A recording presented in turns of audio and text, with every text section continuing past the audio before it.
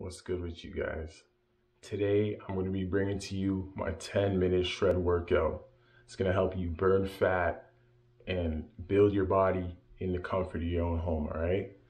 10 minutes, no excuses. It's the first video, man. Let's get straight to it, all right?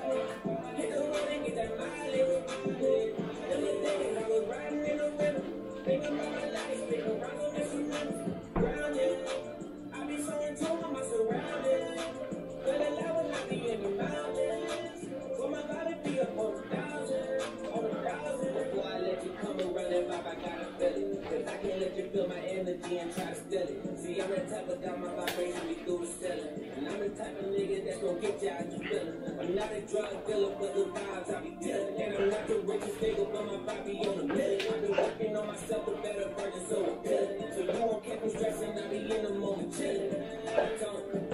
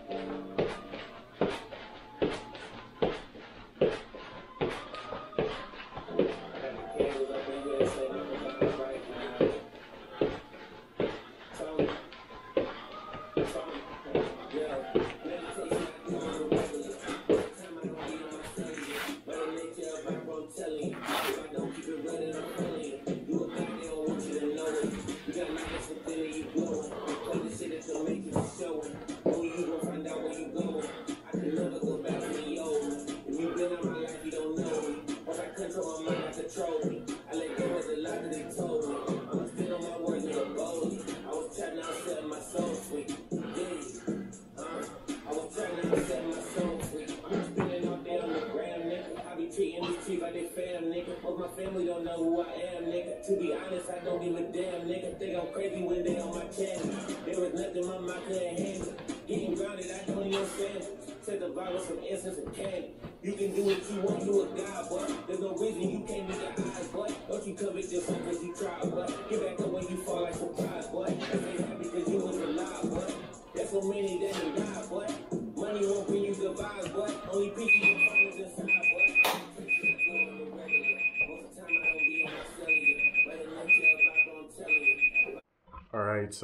Concludes the end of this 10 minute shred workout.